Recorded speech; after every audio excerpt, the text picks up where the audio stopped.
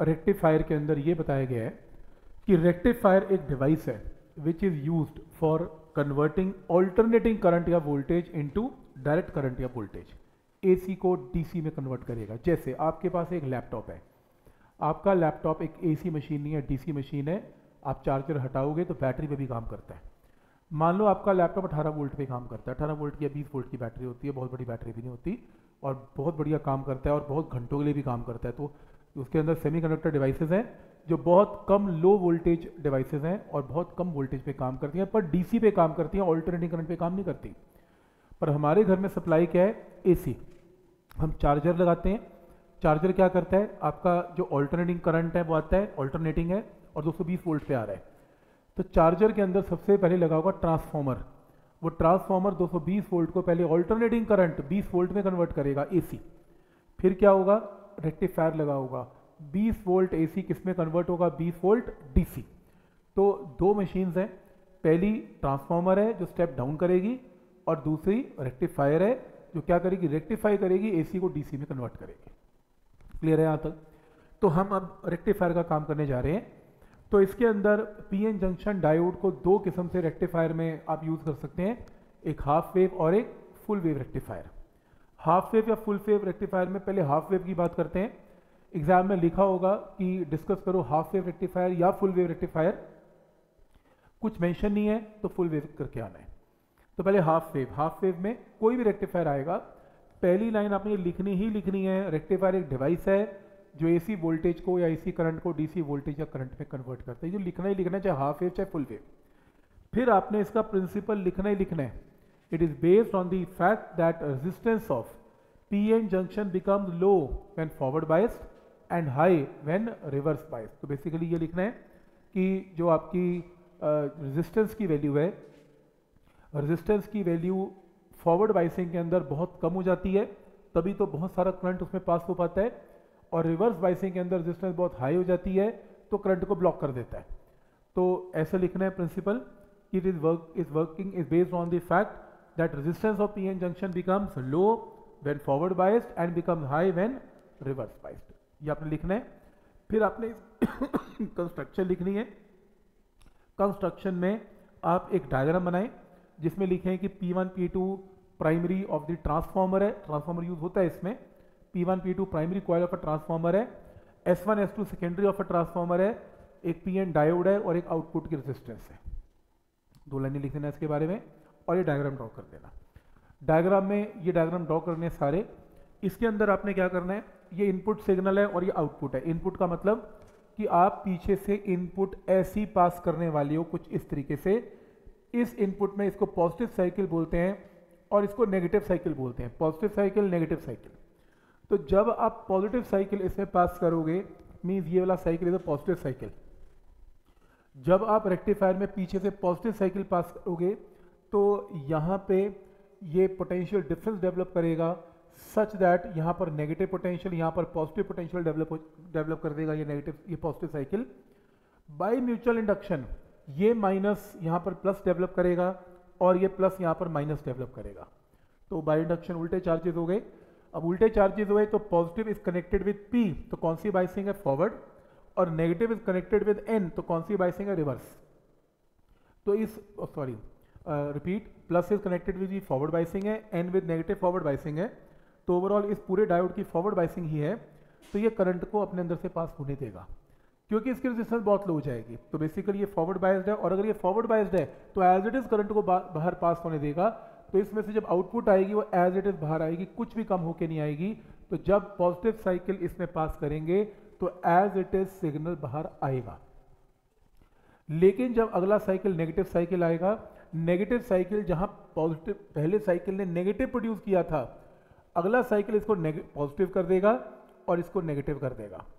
Bye induction ये negative हो जाएगा और ये पॉजिटिव हो जाएगा। उल्टा हो गया। अब क्योंकि ये नेगेटिव पी के साथ कनेक्टेड है तो इसकी रिवर्स बाइसिंग हो जाएगी।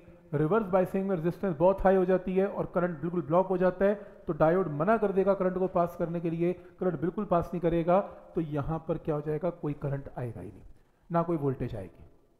तो करंट को ब्लॉक कर लिया आउटपुट वोल्टेज ज़ीरो फिर कौन सा साइकिल आएगा पॉजिटिव आएगा। पॉजिटिव में फॉरवर्ड बाइसिंग हो जाएगी और एज इट इज़ वोल्टेज बाहर आएगी रिवर्स में ये ब्लॉक कर देगा। तो आप जब फाइनल डायग्राम देखेंगे आपका फाइनल डायग्राम ऐसा दिखेगा। पहले वोल्टेज आएगी फिर नेगेटिव साइकिल उड़ गया। फिर आएगी फिर नेगेटिव साइकिल नेगेटिव साइकिल उड़ा देगा ये बिल, बिल्कुल और आपके पास ये आउटपुट आएगी। पर कोई स्टूडेंट कहेगा कि डीसी लग नहीं रहा क्योंकि डीसी तो बिल्कुल कांस्टेंट होता है। और ये तो बिल्कुल भी डीसी नहीं है। इसके आगे और भी डिवाइसेस लगते हैं जिसको फ़िल्टर डिवाइसेस बोलते हैं। फ़िल्टर क्या करते हैं, इसको बिल्कुल डीसी में कन्वर्ट कर देते हैं, पर वो तीसरी मशीन है, उसके बारे में डिस्कस नहीं करना। पहला स्टेप यही है एसी से डीसी करने के लिए रेक्टिफिकेशन का पहला प्रोसेस है कि नेगेटिव साइकिल को खत्म करना। तो ये काम कौन कर रहा है? रेक्टिफायर कर रहा है, आपके नेगेटिव साइकिल उड़ा रहे और इसको हम सीधा कर लेंगे किसी तरीके से तो ये रेक्टिफिकेशन है। तो इसमें से डीसी हम बाहर निकाल लेंगे बट ये प्योर डीसी तो नहीं है। बट हाँ ऐसा बोला जाता है कि पहला स्टेप है तो एसी को एक डीसी में कन्वर्ट कर सकता है। इसमें एक प्रॉब्लम है बल्ब के अंदर जब आउटपुट में बल्ब लगेगा तो इसके अंदर क्या होगा? ये बल्ब ऑन होगा, फिर ऑफ़ हो जाएगा। फिर ऑन होगा, फिर ऑफ़ हो जाएगा। ऑन होगा ऑफ़ हो जाएगा। क्योंकि बीच में सिग्नल ब्रेक हो रहा है। तो ये एक बहुत बढ़िया रेक्टिफायर नहीं है। इसको मॉडिफाई किया गया। मॉडिफाई करके क्या बनाया गया? फुल वेव रेक्टिफायर आपके एग्ज़ाम में आएगा फुल वेव आपने दोनों डायग्राम बनाने हैं। आउटपुट इनपुट सिग्नल भी बनाना है। तो आपने इसमें क्या करना है? सेम डायग्राम है, डायोड एक की जगह डायोड दो लगाने हैं। ये पहला डायोड है, ये दूसरा डायोड है। और आउटपुट आर यहाँ लगाने की बजाय यहाँ लगाना है। तो आउटपुट रेजिस्टेंस ये आउटपुट रेजिस्टेंस है। अब इसमें क्या करना है? ये आउटपुट रेजिस्टेंस है और ये आउटपुट रेजिस्टेंस है। अब शुरू करते हैं। जब पॉजिटिव साइकिल आया पॉजिटिव साइकिल ने यहाँ पर नेगेटिव और यहाँ पर पॉजिटिव डेवलप कर दिया। तो जो पॉजिटिव साइकिल आया पॉजिटिव साइकिल ने नेगेटिव पॉजिटिव किया तो बाय इंडक्शन ये पॉजिटिव नेगेटिव हो गया। तो जब ये पॉजिटिव हुआ positive is connected with P तो कौन सी बाइसिंग होगी? फॉरवर्ड हो गई। और नीचे नेगेटिव विद पी तो कौन सी बाइसिंग होगी? रिवर्स हो गई। तो फॉरवर्ड बाइसिंग ऊपर हुई, नीचे रिवर्स हुई तो इसने कहा, ठीक है, कोई बात नहीं करंट जो है मेरे अंदर से पास होने दो, ये तो ब्लॉक कर देगा। तो सारा का सारा करंट ऐसे घूम गया। ठीक है, सारा, इसने करंट को जाने दिया। तो आपका positive cycle as it is बाहर आ गया। ऊपर से आया, नीचे से नहीं आया, कोई बात नहीं, पर ऊपर से तो आई गया। अब नेक्स्ट है आपका नेगेटिव साइकिल नेगेटिव साइकिल ने जहाँ नेगेटिव है, वहाँ पॉजिटिव कर दिया। जहाँ पॉजिटिव है, वहाँ नेगेटिव कर दिया। बाई इंडक्शन नेगेटिव पॉजिटिव हो गया। By induction negative is connected with P तो ये रिवर्स बाइसिंग हो गई। पॉजिटिव विद पी तो ये फॉरवर्ड बाइसिंग हो गई। फॉरवर्ड बाइसिंग है तो इसने तो मना कर दिया, मैं तो करंट को नहीं पास होने दूँगा, इसने अलाउ किया करंट ऐसे चला गया। अब ऑल्टरनेटिंग करंट याद करो एसी डायनमो क्या होता था? ऑल्टरनेटिंग करंट एसी डायनमो ये होता था कि एक बार आपका करंट की डायरेक्शन इधर है और एक बार इधर है। एक बार इधर है, एक बार इधर है, एक बार इधर है, एक बार इधर है। इसलिए वो नेगेटिव साइकिल प्रोड्यूस करता था। इसमें सारे साइकिल सारे डायरेक्शन आउटपुट करंट की कहाँ पर है? इसी तरफ़ है। डायरेक्शन चेंज नहीं हुई और अगर डायरेक्शन चेंज नहीं हुई तो यानी कि साइकिल नेगेटिव बना ही नहीं। सारे के सारे साइकिल क्या बन रहे हैं? पॉजिटिव तो इसका काम सिर्फ़ यही है डायरेक्शन चेंज की इसने और नेगेटिव को पॉजिटिव साइकिल में कन्वर्ट कर दिया, खत्म भी नहीं किया। तो positive cycle as it is negative positive convert करके डायरेक्शन चेंज नहीं हो रही तो सारे साइकिल पॉजिटिव हो गए। इसने फिर से नेगेटिव साइकिल उड़ा दिए।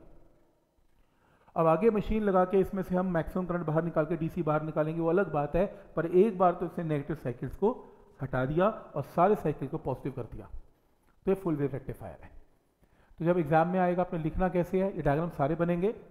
सबसे पहले क्या है रेक्टिफायर ये लिखना। है उसके बाद प्रिंसिपल लिखना। है प्रिंसिपल लिखने के बाद आपने कंस्ट्रक्शन में चार लाइनें लिखनी है और डायग्राम बनाना। है और वर्किंग के अंदर ये लिखना। है during positive half cycle of input AC पहले कौन सा साइकिल एंटर हुआ?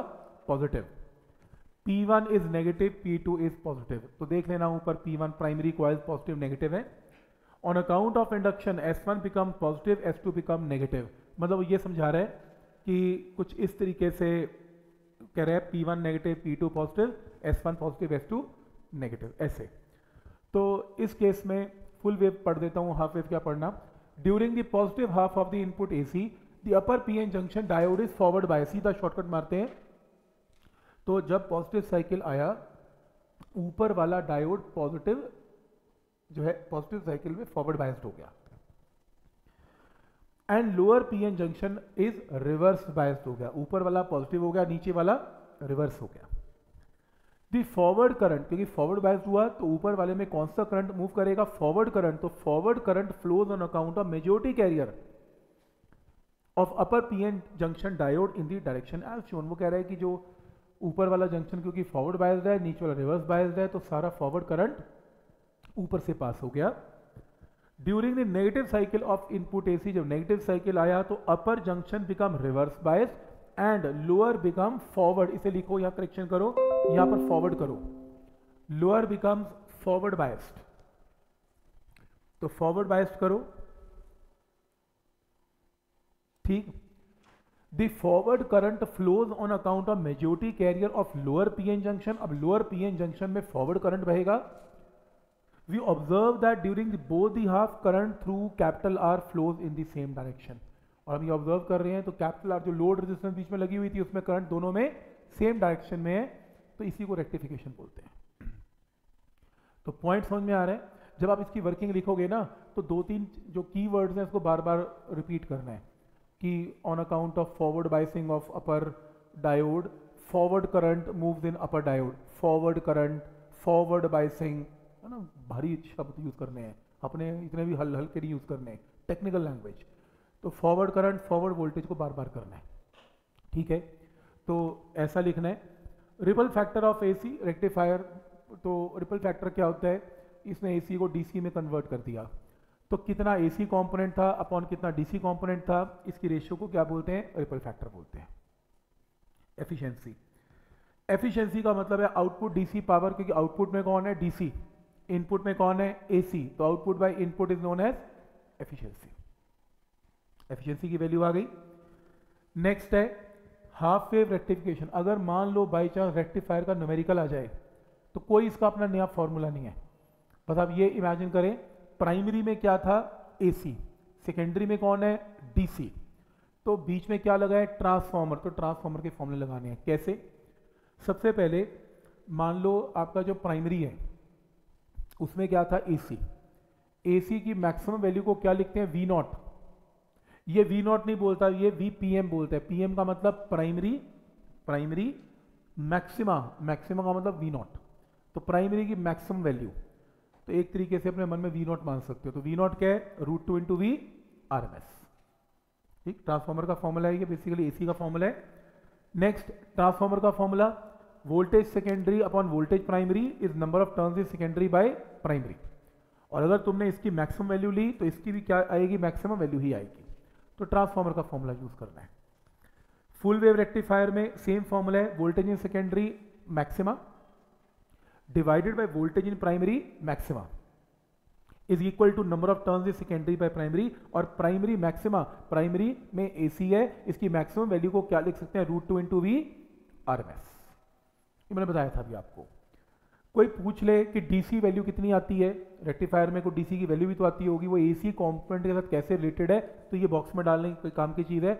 आई डीसी क्या होता है? Average value of AC RMS नहीं होती एवरेज होती है। तो आई डीसी क्या होता है? Two by pi into I nought इसलिए जो रेजिस्टेंस लगी होती है रेक्टिफायर में, उसमें आउटपुट क्या आती है? I into R I output में कौन आ रहा है? डीसी और लोड रेजिस्टेंस। लोड का मतलब जो आउटपुट रेजिस्टेंस है, उसको लोड रेजिस्टेंस बोलते हैं। तो I D C into R L और आई डी सी की जगह क्या पुट करेंगे? Two I nought by by by chance अगर कुछ आ जाए तो ये वैल्यूज़ के साथ अपने क्वेश्चन को कर सकते हैं।